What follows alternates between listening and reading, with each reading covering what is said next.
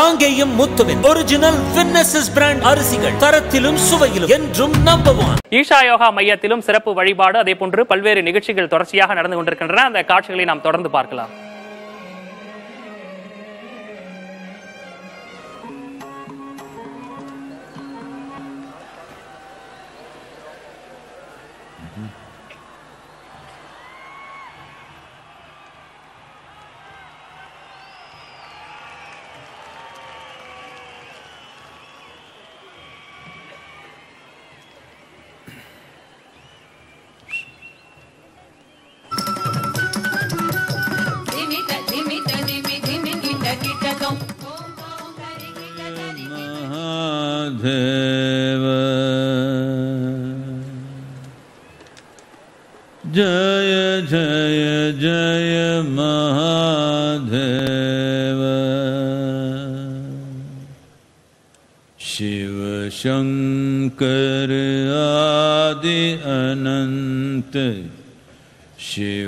शिव शङ्कर आदि अनन्त जय जय जय।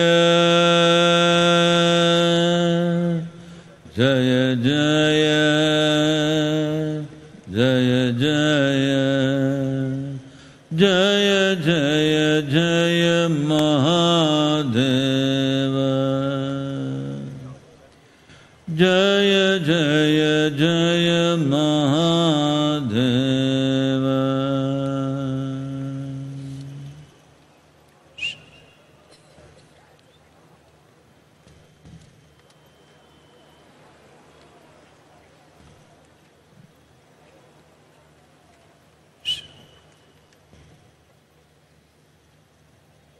Can I risk one more story with you?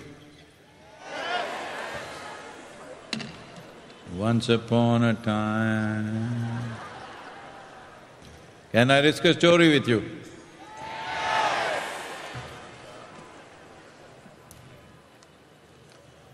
On a certain day,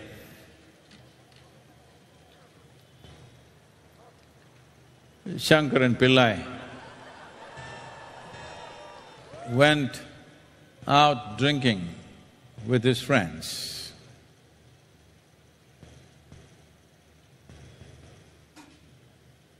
You know, drinking people, in some aspects they are like yogis, timeless. He was walking back from uh, his office, he saw some of his friends were at the bar. He thought he will just spend ten minutes and just a couple of drinks and go home. But because with a little bit of inebriation, you become both timeless and countless. He couldn't count the number of drinks he had, nor could he check his time. When he thought, oh, it should be late, I should go home, and he looked like this. It said, the watch, stupid watch said two AM. It's not at two AM, it's only one. So then he thought he must go home and somehow found his way home. Then he pulled out the key. You know, they make this keyhole so small. Why can't they make it this big? It's so small. He struggled for twenty minutes to find the hole, put it inside and somehow opened it. Then he went in, slowly crawled up the staircase, went into the bedroom and uh, on the way, when he was coming, trying to take a shortcut, he crossed a rose garden. Because uh, his feet were partially rubbery, he happened to fall into the rose bush face down. He could feel some pain, some liquid on his face, but he didn't know what has happened. So he crawled up the staircase, went into the bathroom and looked at his face. It was one big mess, bleeding all over the place.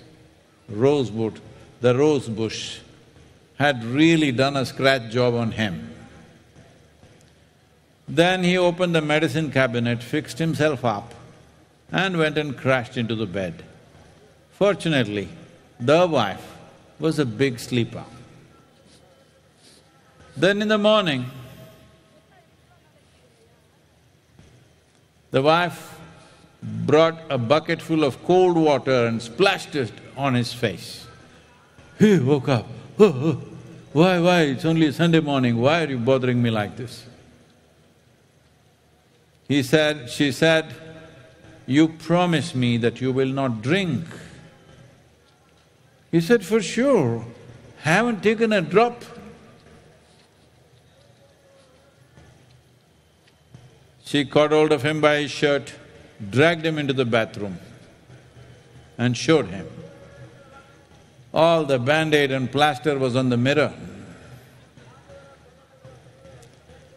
Unfortunately, most human beings are handling their well-being like this.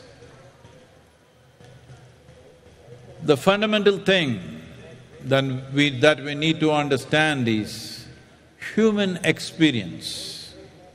Human experience, joy or misery, peace or turmoil, agony or ecstasy, variety of experiences, all of them are manufactured within us, never outside of us.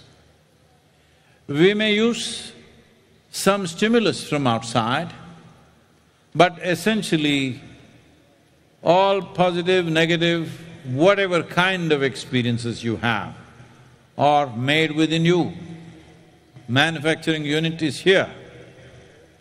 So if you want to ensure what is the nature of your experience, you have to turn inward, engineer this a little bit. Been talking about in engineering for a long time, because if you do not engineer this the way you want, whatever you may have in the world, a bag of misery follows you no matter where you go. It's just being joyful, peaceful or blissful is the goal of life? No, no, no. If you are soaked in blissfulness, then this life will blossom to its fullest potential. You can explore the full depth and dimension of what it means to be a human being only when there is no fear of suffering, only when you're soaked in bliss. When every cell in your body has become pleasant, you have no concern about yourself. Or in other words, you might have taken up a thousand concerns in your life, but you are never the concern. You may have one thousand issues in the world, but you are never the issue. You may be handling many, many problems on a daily basis, but you are not the source of that problem. This much if you ensure, then this life will blossom into a different possibility. As I was saying earlier, this is a civilization which is dedicated to raising the human being into a divine status.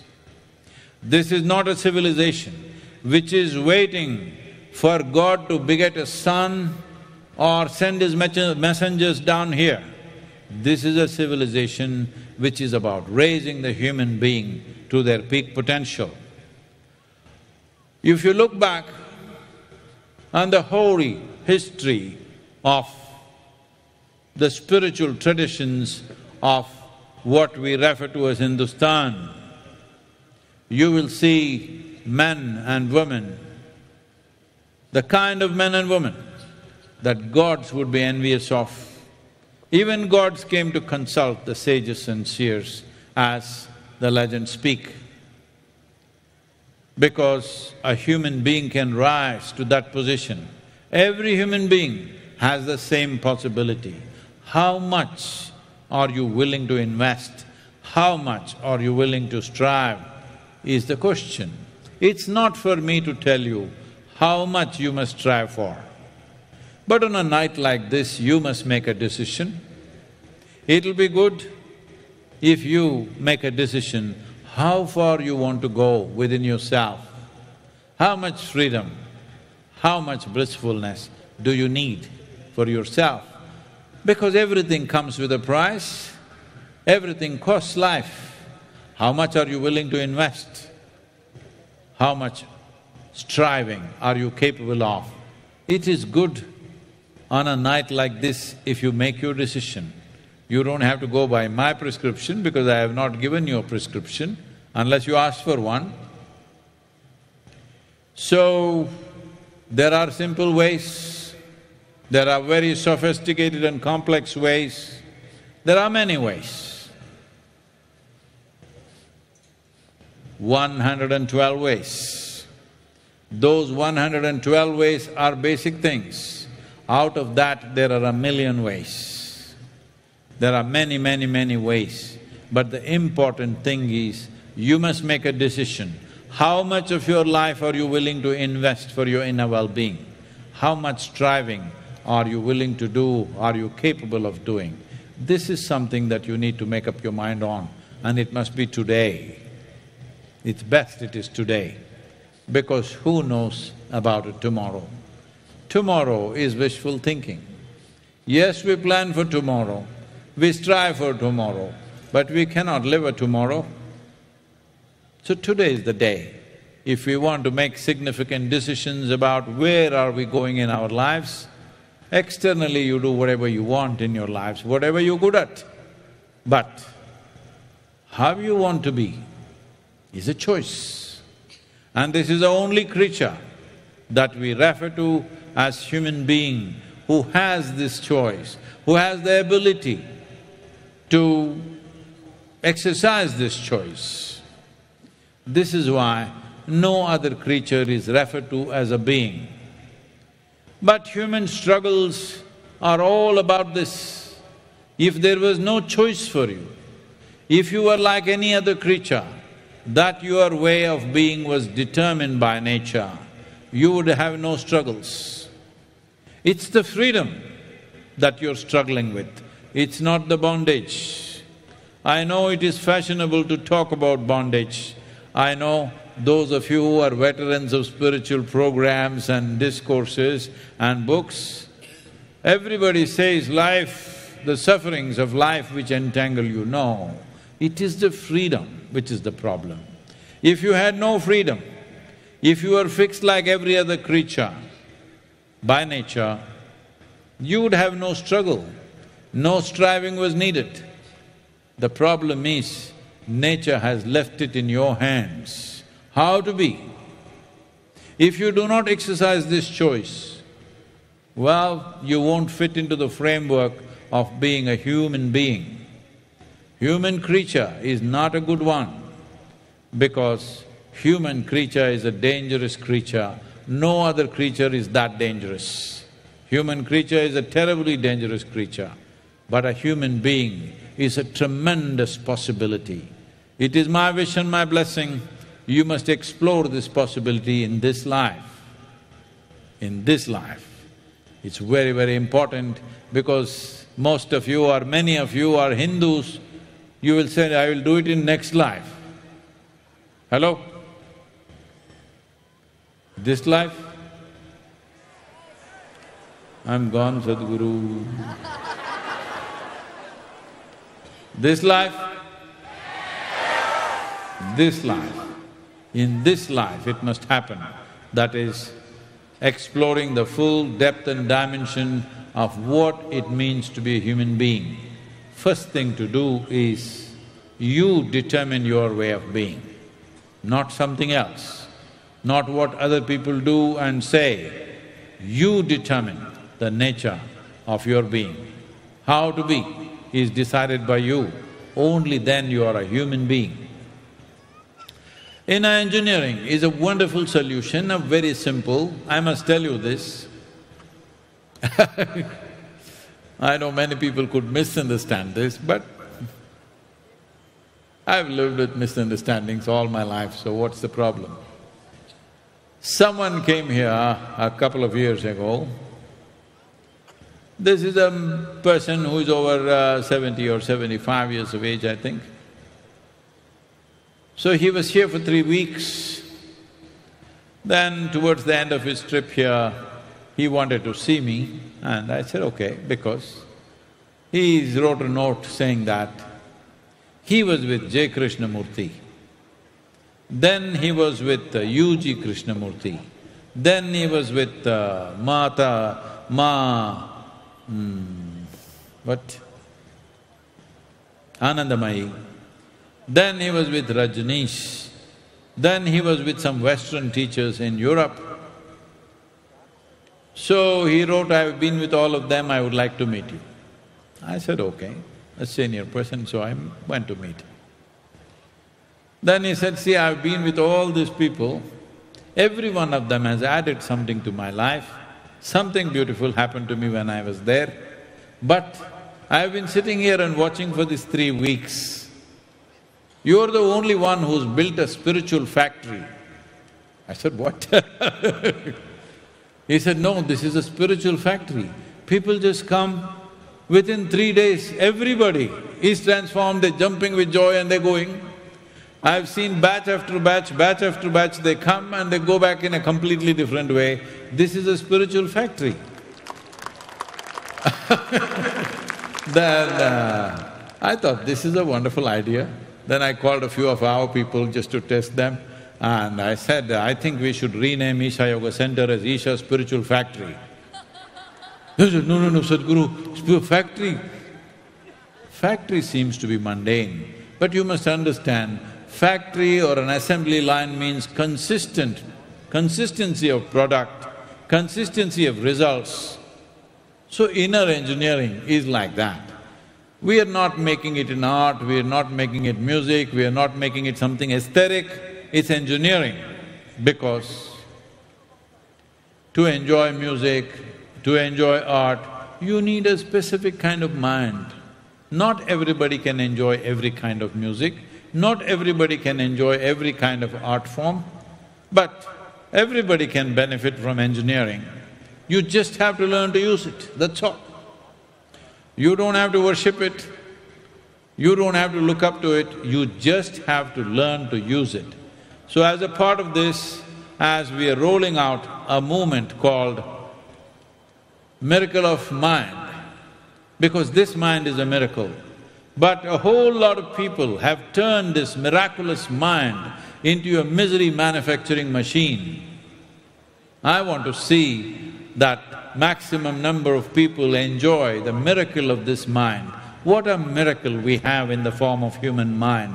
How many things it can do, what wonderful things it can do, but people are busy stressing themselves, depressing themselves, frustrating themselves, losing balance, all kinds of things happening on a daily basis. So, this miracle of mind movement is about offering simple processes, fifteen minutes a day if you're willing to invest. For different people, different kind of things, over twenty-one varieties of offerings, fifteen minutes a day. This will come in the form of an app, a gamified app, so that people can play with it. And every day, before you go to bed, you can play a little life hopscotch, which will give you a reading as to what is your mental state today. If you work on this, you'll also get rewards, I will not talk about it right now. But for the youth particularly, we are offering very strong scholarships for the youth. Fifty percent scholarship they can get, or hundred percent scholarship they can get, but that is only if you don't have money, because it costs money to deliver this. But we are willing to give it free of cost, but if you are getting it free in scholarship, every… a certain number of hours a week, you must do something which is not about you, about somebody else. You can go and teach a child uh, in a slum or something, a little bit of mathematics or science, or you can help an old person somewhere, or you can plant a tree or whatever, something which is not about your personal uh, stuff, you do something that's good for somebody else. Certain number of hours if you put in, we will give full scholarship for in engineering for youth, if you're young. If you're not dead, I think you're young. Now I am wondering, the silence is scaring me. The silence is scaring me.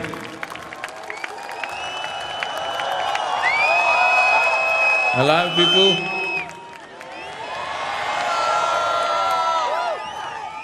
Now, in this whole effort, there are many, many aspects to this, but this kind of movement, where we want to touch at least three billion people in the next eighteen to twenty-four months, with fifteen minutes of closing eyes. If three billion people close their eyes fifteen minutes a day, believe me, the world will change in many ways. There was an experiment conducted in United States recently where young people were made to sit in a room where there's no television, no phone, no painting, nothing, or white walls all around. They have to just sit there quietly for fifteen minutes. If they cannot, they can opt to have an electric shock, a mild electric shock. Sixty-seven percent of the young people chose electric shock rather than sitting quietly for fifteen minutes.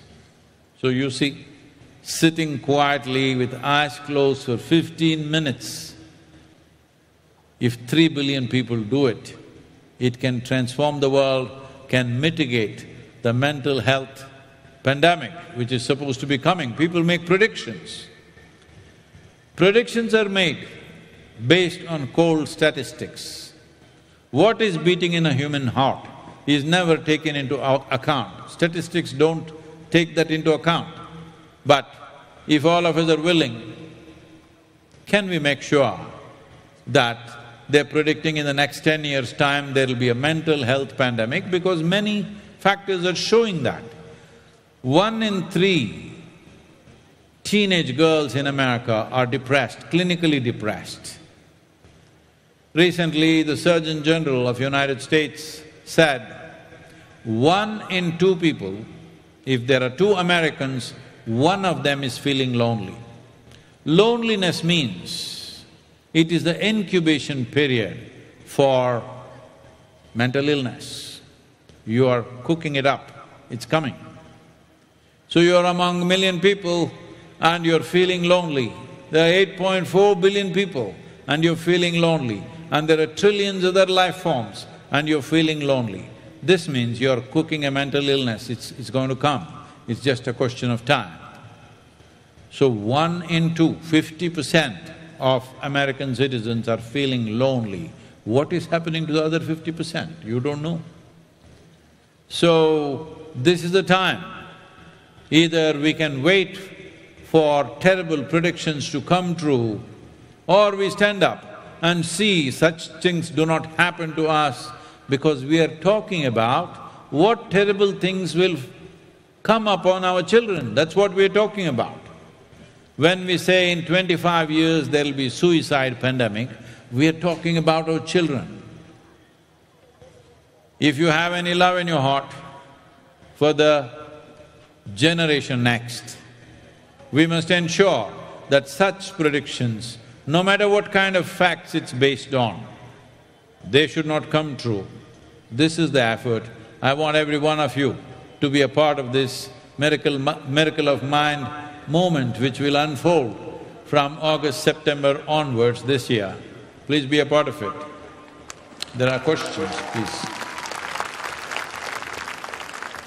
Oh, first thing is you have to stay awake, then awakening. Hello? Namaskaram, Sadhguru. Not like that. It must go on for fifteen seconds.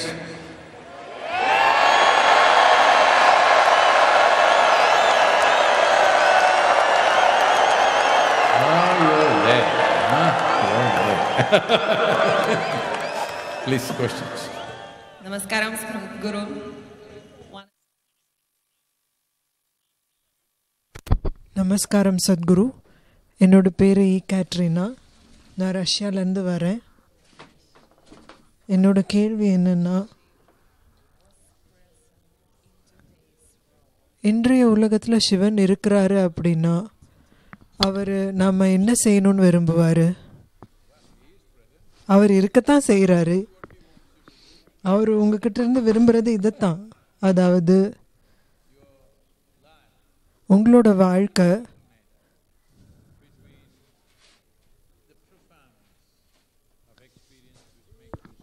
உங்களை அசைவில்லாமல் ஆக்குற அனுபவத்துடைய ஆழமான தன்மைக்கும் செயலில் அதனுடைய கொண்டாட்டமான தன்மைக்கும் இடையில நடக்கணும். அதுதான் அவர் விரும்புகிறாரு அதுதான் நீங்கள் செய்யணும்னு அவர் நினைக்கிறாரு. அவர் இருந்திருந்தான்னு சொல்லாதீங்க. அவர் இப்போ இருக்கத்தான் செய்கிறாரு இதை பற்றி தான் நாம் இவ்வளோ நேரம் பேசிகிட்டு இருக்கோம் நாம் இங்கே இல்லாத ஒரு விஷயத்தை பற்றி பேசலை. நாம் இங்கே இருக்கிற உயிருள்ள இருப்பை பற்றி பேசுகிறேன் நான் ரொம்ப காலமாக உங்ககிட்ட இதை பற்றி தான் சொல்லி வர்றேன். அவர் என்னோட ஐம்பது சதம் கூட்டாளி.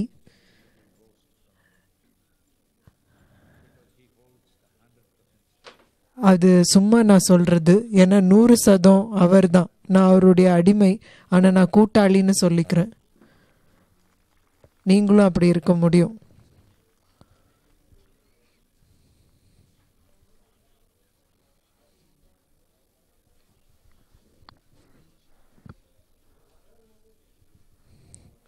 நமஸ்காரம் சத்குரு.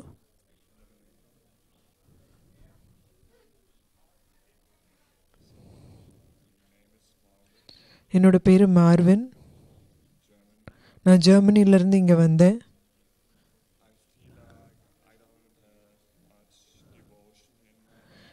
என் வாழ்க்கையில் எனக்கு பக்தின்னு அதிகம் எதுவும் இல்லை. அதனால் இந்த மாதிரி ஒருத்தருக்கு கோயிலுக்கு போகிறது அர்த்தமுள்ளதாக இருக்குமா? வழிபாடெல்லாம் நான் செய்ய முடியுமா?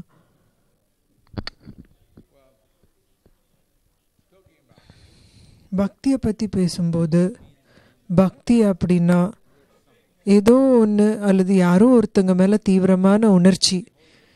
யாரோ ஒருத்தவங்க உங்கள் தலைக்கு துப்பாக்கி வச்சா நீங்கள் என்ன கவனிப்பீங்கன்னா உங்களுக்கு ரொம்ப தீவிரமான பக்தி உங்கள் மேலே இருக்குதுன்னு நீங்கள் உணர்வீங்க. உங்கள் உயிருக்கு ஆபத்து வந்துச்சுன்னா அதை உணர்வீங்க. நாம் அந்த கவனத்தை உங்ககிட்ட இருந்து இன்னொன்றுக்கு திருப்புறதை பற்றி பேசுகிறோம் இன்னொரு மனிதருக்கு அதை கொண்டு போனால் கொஞ்சம் நீங்கள் இன்னொருத்தருக்கு அதை திருப்பினா அதை காதல்னு சொல்கிறோம் அதையாவது செஞ்சுருக்கீங்களா உங்கள் வாழ்க்கையில்? அதில் பெரும் பகுதியை நீங்கள் இன்னொரு பக்கம் திருப்பினா அதை பக்தின்னு சொல்கிறோம் யார் அளப்பரிய அன்போடு இருக்கிறாரோ அவர் இயல்பாகவே பக்தி ஆகிறாரு. பக்தி அப்படின்னா கோயிலுக்கு அல்லது மசூதிக்கு அல்லது ஆலயத்துக்கு போகிறது இல்லை பக்தி அப்படின்னா நீங்கள் ஏதோ ஒன்று மேலே தீவிரமான கவனத்தோடு இருக்கிறீங்க. ஏதோ ஒன்று அல்லது யாரோ ஒருத்தங்க உங்களை விட ரொம்ப முக்கியமாயிட்டாங்க. நீங்கள் அவங்க மேலே அந்த அளவுக்கு காதல் வயப்பட்டுட்டீங்க. இப்போ நீங்கள் அதிலிருந்து திரும்ப முடியாது. இது நல்ல விஷயம். இது நல்ல விஷயமான்னு கேட்டால் இது நல்ல விஷயம் இல்லை. ஆனால் பக்தராக இருக்கிறது அற்புதமாக இருக்குது. அவ்வளோதான் நல்ல விஷயம்னு சொன்னால் அடுத்தது எனக்கு என்ன கிடைக்கும்னு கேட்டுருவீங்க. உங்களுக்கு எதுவுமே கிடைக்காது. உங்களை நீங்களே தொலைச்சிடுவீங்க. ஆனால் அது அற்புதமாக இருக்குது. கேட்டு பாருங்க. அவங்க கொஞ்சம் காதலில் விழுந்திருந்தாலும் அவங்களோட காதல் ஒரு வாரம் இருந்திருந்தாலும் அவங்கக்கிட்ட கேட்டு பாருங்கள் அவங்க வாழ்க்கையில் ரொம்ப அழகான அனுபவமாக அது இருந்திருக்கும். நீங்கள் பக்தி ஆனீங்க அப்படின்னா அப்போ உங்கள் வாழ்க்கை அனுபவம் ரொம்ப அற்புதமாயிடும். சும்மா நல்லா இருக்காது. ஏன்னா நல்லா இருக்குதுன்னு சொன்னால் அதை மதிப்பீடு செய்யணும். நல்லது கெட்டது அப்படின்னா மதிப்பீடு செய்யணும். என்ன கிடைக்கும்னு பார்க்கணும். உங்களுக்கு எதுவும் கிடைக்காது. சொல்லப்போனால் உங்களை நீங்களே தொலைச்சிடுவீங்க. ஆனால் நான் எதுக்காக இதை செய்யணும்? நான் ஏன் கோயிலுக்கு போய் பக்தியோட பிரார்த்தனை செய்யணும்? நீங்கள் பண்ண தேவையில்லை. ஏன்னா கோயில்ன்றது வழிபாட்டை பற்றினது இல்லை. நாம் இதை தெளிவாக புரிஞ்சுக்கணும். கோயில் அப்படின்றது உங்களோட பிரார்த்தனை பற்றியோ வழிபாட்டை பற்றினதோ கிடையாது. கோயில் அப்படின்றது சக்தி வாய்ந்த ஒரு சக்தி வடிவம். நீங்கள் அங்கே போய் இதில் ஊறணும் அப்படின்றது தான் நோக்கம். இது உங்களுக்கு தெரியலன்னா ஜெர்மனிலேருந்து நீங்கள் வர்றீங்க. ஆனால் பெரும்பாலான இந்திய மக்களுக்கு இது தெரியும். அவங்க அப்பப்போ மறந்துடுவாங்க. ஆனால் அவங்களுக்கு இது தெரியும். அவங்க கோயிலுக்கு போகிறது தரிசனம் செய்யறதுக்காக. பிரார்த்தனை செய்கிறதுக்கு இல்லை வழிபாட்டுக்கு இல்லை கடவுளுக்கு கோரிக்கை மனு கொடுக்கறதுக்கு இல்லை. சும்மா தரிசனம் செய்கிறதுக்காக போகிறாங்க ஏன்னா தனிப்பட்ட அளவில் இது அவங்களுக்கு தெரியலன்னாலும் கலாச்சார ரீதியாக அவங்களுக்கு இது தெரியும். அதாவது ஒரு சக்தி வாய்ந்த தெய்வம் அல்லது விக்கிரகம் அங்கே இருக்குது. அதனுடைய சக்தியை நீங்கள் உள்வாங்கிக்க விரும்புகிறீங்க அந்த தெய்வத்தை உங்கள் இதயத்தில் எடுத்துக்க விரும்புகிறீங்க அங்கே போய் பிரார்த்தனை செய்துட்டு திரும்பி வர்றதுக்கு நீங்கள் போகலை. வழிபாடு செய்துட்டு திரும்பி வர்றதுக்கு நீங்கள் போகலை. அந்த புனிதமான உருவத்தை உங்களுக்குள்ளே நீங்கள் அகப்படுத்திக்க விரும்புகிறீங்க அப்போ அது உங்களுக்குள்ளே வாழும் உங்கள் உயிர்த்தன்மையை மேம்படுத்தும். அதனால் கோயில் அப்படின்றது பிரார்த்தனையை பற்றினது இல்லை. கோயில் அப்படின்றது வழிபாடு பற்றினது இல்லை. பக்தின்றது கோயிலை பற்றினதே இல்லை. பக்தி அப்படின்னா யாரோ ஒருத்தங்க அவங்க வாழ்க்கையில் எந்த துறையில் இருந்தாலும் சரி கலையாக இருந்தாலும் இசையாக இருந்தாலும் கணிதமாக இருந்தாலும் ஆன்மீகமாக இருந்தாலும் அரசியலாக இருந்தாலும் தொழிலாக இருந்தாலும் எதுவாக இருந்தாலும் யாராக இருந்தாலும் அவங்க வாழ்க்கையில் மகத்துவமான எந்த ஒரு விஷயத்தையும் அவங்க செய்யறது மேலே பக்தி இல்லாமல் செஞ்சுருக்காங்களா? நீங்கள் பிழைப்ப வேணால் சம்பாதிக்கலாம். சும்மா ஏதோ ஒன்று செஞ்சுக்கிட்டிங்கன்னா பிழைப்பை வேணால் சம்பாதிக்கலாம். ஏதோ ஒன்று மேலே பக்தியாக இருந்தால் தான் பெருசாக ஏதோ ஒன்று நடக்கும். சமீபத்தில் தான் நாலு நாளைக்கு முன்னாடி நான் சச்சின் டெண்டுல்கர்கிட்ட பேசிகிட்டு இருந்தேன். உங்களுக்கு யாருன்னு தெரியாது. அவர் பேரை சொன்னாலே இந்தியர்கள் எல்லாரும் கத்துவாங்களே எந்த சத்தமும் வரல. ஏன்னா அவர் இந்தியாவுடைய ரத்னமாக ஆயிட்டாரு பாரத் ரத்னான்னு சொல்கிறோம் ஆனால் இந்த பையன் என்ன சொன்னார்? அவர் இப்போ சின்ன பையன் இல்லை. வளர்ந்தவர். ஆனால் எல்லாருக்கும் அவர் சின்ன பையன்தான். ஏன்னா ஆரம்பத்தில் சின்ன பையனாக பார்த்தாங்க. அவர் அப்படி என்ன செஞ்சார்? அவர் நல்லா படிக்கலை. அவர் மருத்துவர் ஆகலை. இன்ஜினியர் ஆகலை. பிஹெச்டி படிக்கலை. அப்படியெல்லாம் எதுவும் செய்யலை. அவர் பந்தை மட்டும் அடிச்சுக்கிட்டே இருந்தார். பந்தை அடிச்சுக்கிட்டே இருந்தார். அந்த பந்து எந்த அளவுக்கு சிறப்பாக அடித்தார்னா வேற எதுவும் இல்லை. சும்மா அந்த பந்தை அடிக்கிறது. அது அற்புதமாக அடித்ததுனால பாரத ரத்னாவாக ஆயிட்டார். ஏன்னா அதுதான் பக்தி. நீங்கள் ஏதோ ஒன்று மேலே முழுமையாக பக்தியாக இருந்தீங்கன்னா அப்போ நீங்கள் என்ன கவனிப்பீங்கன்னா வாழ்க்கை உயரும். பக்தின்றது கடவுளை பற்றினது இல்லை. பக்தி அப்படின்றது உங்களுக்குள்ள இருக்கிற எல்லாத்தையும் ஒரு திசையில போடுறது. நீங்க எல்லா பக்கமும் செதறி கிடந்தீங்கன்னா நீங்க என்னதான் செய்வீங்க வாழ்க்கையில? நடுத்தரமான விஷயங்களை தான் வாழ்க்கையில செய்வீங்க. உங்களுக்குள்ள இருக்கிற எல்லாமே ஒருங்கிணைக்கப்பட்டு ஒரு திசை நோக்கி வீசப்பட்டாதான் அது ஒரு தீப்பிழம்பா மாறும் வெற்றியா மாறும். ரொம்ப தூரம் போகிற ஒரு விஷயமா உருவெடுக்கும் அதனால பக்தி அப்படின்றது கடவுளை பற்றினது இல்லை. பக்தி அப்படின்றது கோயிலை பற்றினது இல்லை. பக்தி அப்படின்றது பிரார்த்தனையோ வழிபாடோ பற்றினது இல்லை. பக்தி அப்படின்றது உங்களை எந்த மாதிரி ஒருங்கிணைச்சிக்கிறதுனா உங்கள் உடல் உங்கள் மூளை உங்கள் சிந்தனை உங்கள் உணர்ச்சி உங்கள் சக்தி உங்கள்கிட்ட வேற என்ன இருந்தாலும் சரி எல்லாமே ஒரு நோக்கமாக மாறுது. அப்போது நீங்கள் வாழ்க்கையுடைய குப்பைக்கு நடுவில் அது அதுக்கு நடுவில் ஊடுருவி ஏதோ ஒரு இடத்த போய் அடைய முடியும். அது எப்படி செய்கிறீங்கன்றது உங்கள் விருப்பம்.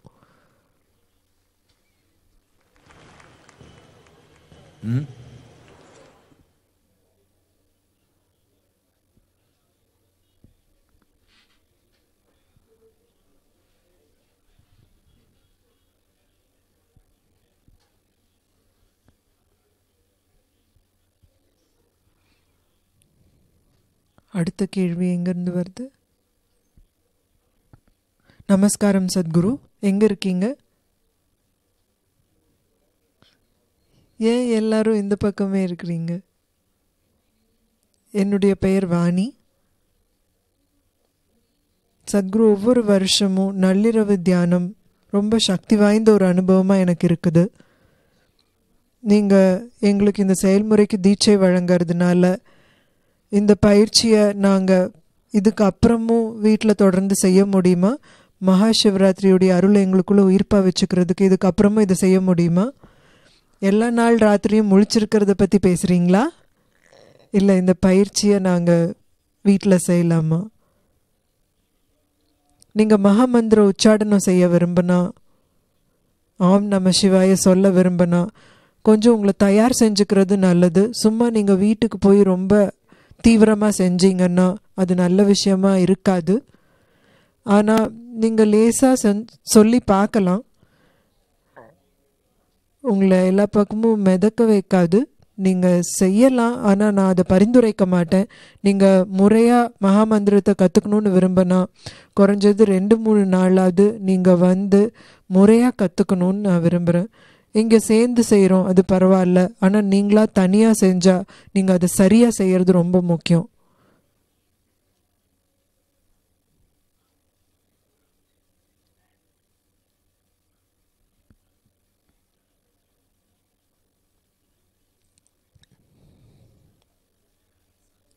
நமஸ்காரம் சத்குரு.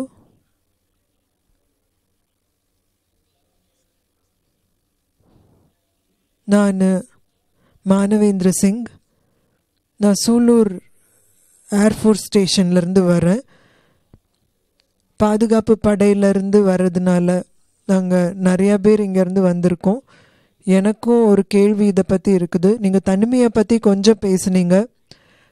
எங்களோட பாதுகாப்பு படைகளில் ரொம்ப ஒழுக்கமுறை கடைபிடிக்கிறோம். உடலை உறுதிப்படுத்துறதுக்கும் சரி மன ஆரோக்கியத்துக்கும் சரி நாங்கள் பல விஷயங்களை செய்கிறோம் எப்படி இருந்தாலும் எவ்வளோ செஞ்சாலும் பொதுவாக என்ன கருதப்படுதுன்னா தனிமை அப்படின்றது ஒரு எதிரியாக கருதப்படுது. மன ஆரோக்கியத்துக்கு தனியாக இருக்கிறது எதிரியாக கருதப்படுது. நீங்கள் சொன்ன மாதிரி யோகிகளும் ஆதி யோகியுமே பெரும்பாலான சமயம் தனியாக தான் இருந்தார். ஆனாலும் அவருக்கு அந்த உறுதி இருந்துச்சு. தன்னுடைய எண்ணங்களையும் மன செயல்முறையும் கட்டுக்குள்ளே வச்சிருக்கிற சக்தி இருந்துச்சுன்னு சொல்கிறீங்க இந்த ஒரு அம்சத்தை பற்றி உங்ககிட்ட இருந்து இன்னும் தெரிஞ்சுக்க விரும்புகிறோம் யோகிகள் எப்படி பைத்தியமாகாமல் இருந்தாங்கன்னு கேட்குறீங்களா நீங்கள் என்ன புரிஞ்சுக்கணுன்னா நீங்கள் மனதுடைய ஒரு சுழற்சிக்குள்ளே சிக்கி போனீங்க அப்படின்னா அந்த ஒரு சக்கரம் மாதிரி உங்களுக்குள்ள சுழலுச்சுன்னா வேற வழியே இல்லாத மாதிரி தெரியும். நீங்கள் அதை செய்கிறத நம்பவே முடியாத மாதிரி ஆயிடும். ஆனால் அது அப்படிதான். மனதுடைய இயல்பே அப்படிதான்.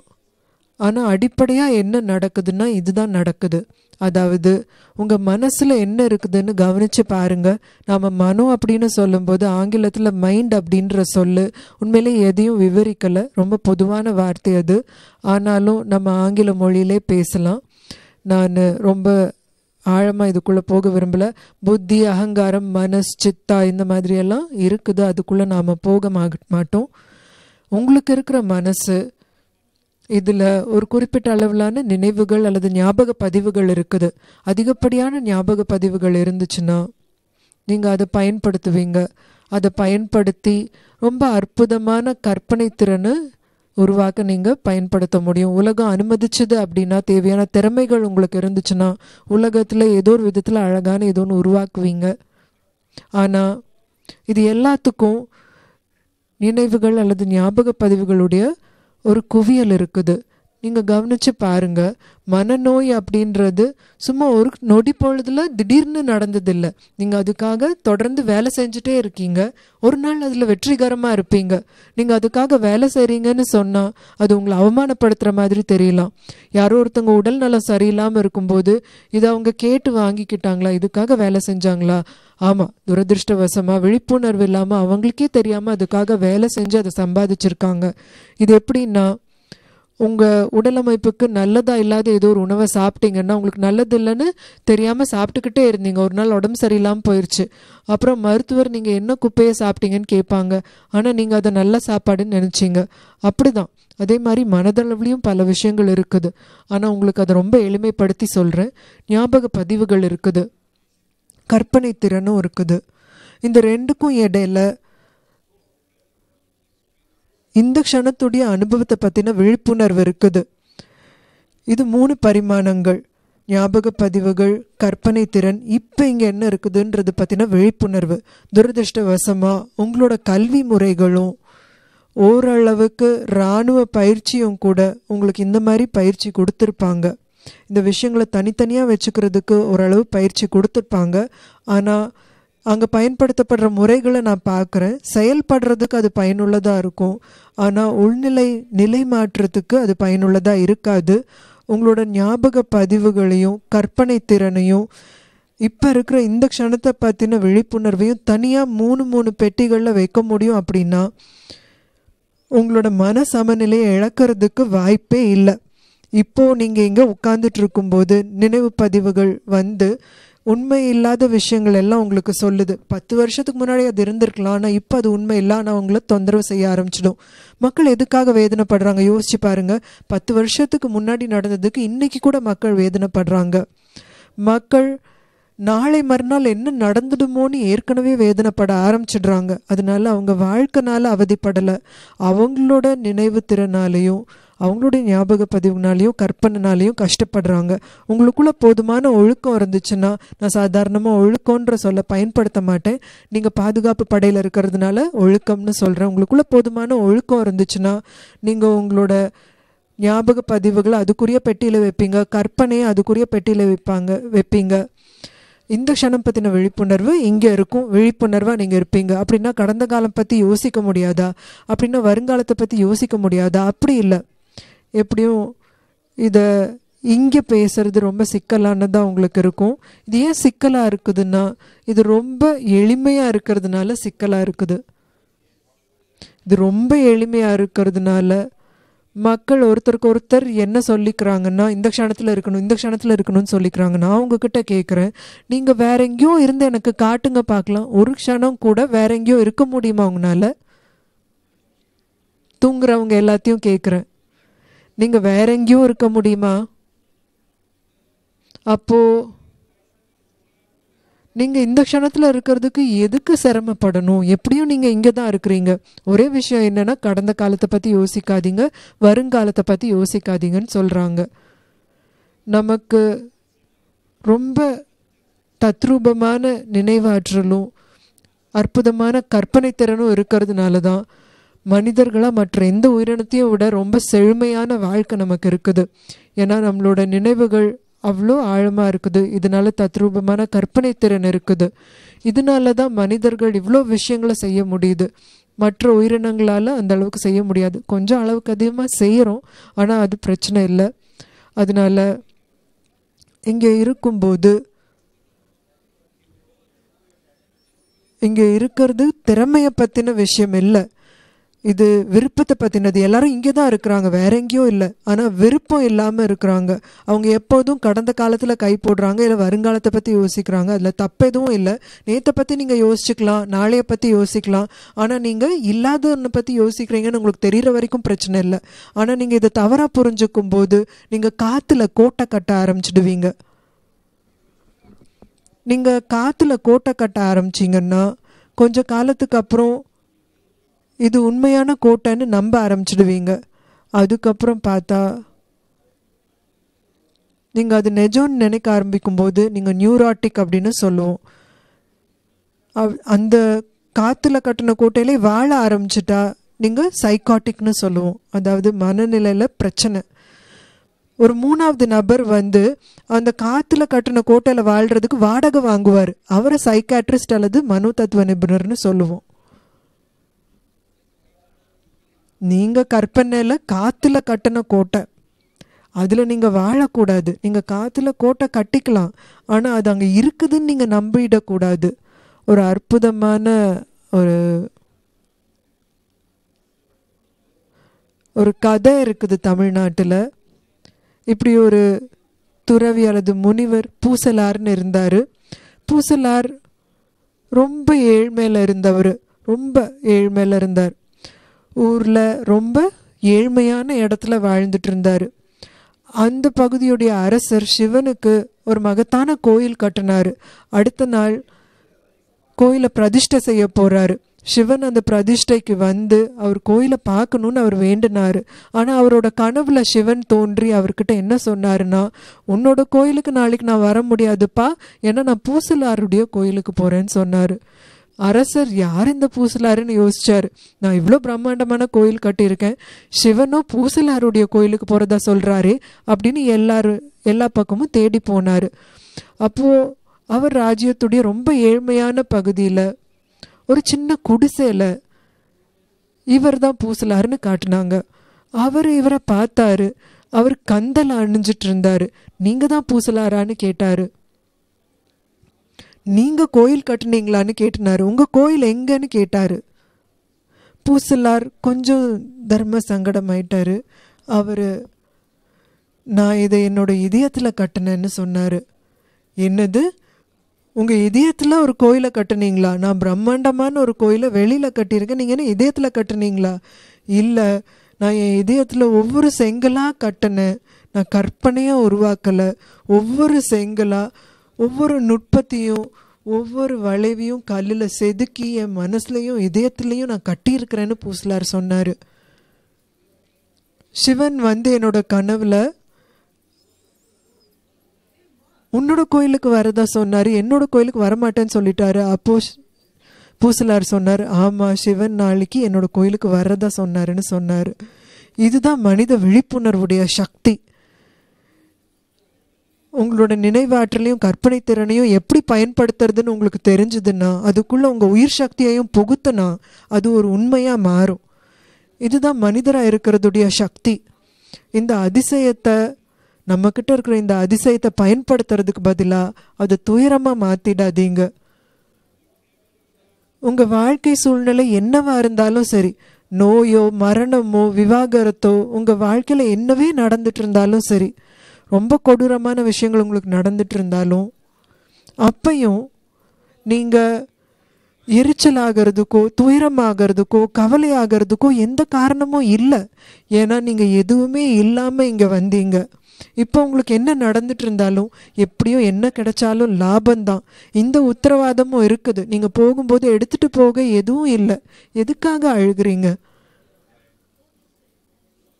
எதுக்காக அழறீங்க? அவங்க என்ன சொன்னாங்க தெரியுமா? என்ன செஞ்சாங்க தெரியுமா? என்ன எப்படி பார்த்தாங்க தெரியுமா? இப்படி சொன்னாங்க அப்படி சொன்னாங்க இப்படி செஞ்சாங்க அப்படி செஞ்சாங்க. யார் என்ன செஞ்சாலும் ஒரு பொருட்டு இல்லை. நீங்கள் உங்களுக்கு நீங்களே எவ்வளோ கொடூரமான விஷயம் செஞ்சுக்கிறீங்கன்னு பாருங்கள் உங்களை துயரமாக்கும்போது உங்களுக்கு நீங்களே நீங்கள் கொடுமை செஞ்சுக்கிறீங்க. உங்களை நீங்களே மன அழுத்தமாக்கிக்கிறீங்கன்னா எரிச்சல் ஆக்கிக்கிறீங்கன்னா துயரமாக்கிக்கிறீங்கன்னா மனக்கவலையில் ஆழ்த்திக்கிறீங்கன்னா உங்களுக்கு எதிரிகள் தேவையில்லை சுய உதவியில் இருக்கிறீங்க. அற்புதமாக அதில் வேலை செய்கிறீங்க இதுலேருந்து வெளியே வர்றதுக்கான நேரம் இது. இந்த இரவில் எனக்கு இந்த ஒரு வாக்குறுதி நீங்கள் கொடுக்கணும். நீங்கள் எல்லாருமே கொடுப்பீங்களா? நீங்கள் எல்லாருமே உங்கள் வாழ்க்கையில் ஒரு க்ஷணமாவது ஒரு அற்புதமான மனிதராக இருக்கிறதுனா என்னன்னு உணர்ந்திருக்கிறீங்க தானே? உங்களுக்கும் உங்களை சுற்றி யாரோ ஒருத்தங்களுக்கும் அற்புதமாக ஒரு க்ஷணமாவது இருந்திருக்கீங்களா? அப்படின்னா அற்புதமாக இருக்கிற திறமை உங்களுக்கு இருக்குது. நான் உங்களுக்கு என்ன சொல்கிறேன்னா இந்த வாழ்க்கையில் இல்லை நீங்கள் மரணப்படுக்கையில் அடுத்த க்ஷணம் இறக்க போகிறதா இருந்தாலும் நீங்கள் உங்களோட அற்புதமான தன்மையை கீழே போடுறதுக்கு எந்த காரணமும் இல்லை. இந்த ஒரு விஷயத்தை வச்சுக்கிட்டா ஒவ்வொரு நாளும் உங்களுக்கு மகா சிவராத்திரியாக தான் இருக்கும்.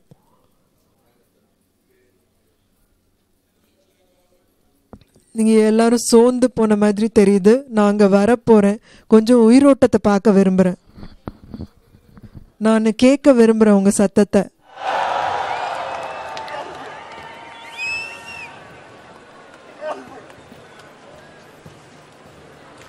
It dies out in two seconds.